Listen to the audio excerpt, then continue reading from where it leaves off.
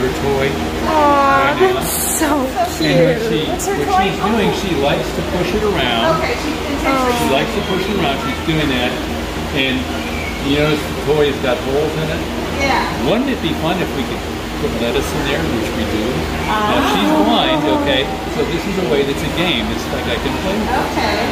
Now, the fish are extremely happy with having a vegetarian. I don't blame you. So she she came to us in the in the 90s. She had been tangled up into hooks, eye hooks. So she came into us to be fixed. Okay, we couldn't fix her. So she had to be with us or somebody else, you know, to provide her. Um, she's very, what she's doing now is the way her shell is constructed. You'll see instead of being one big piece of bone, it's got layers of bone, okay, that are held together with ligaments.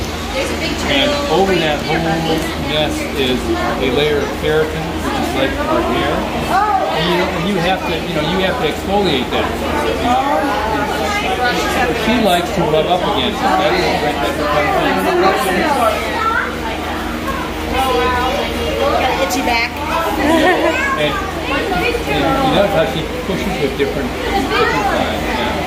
What's her name? Hangs up. Hang tough. Uh, think about think about companies who've been through a hard life, you know.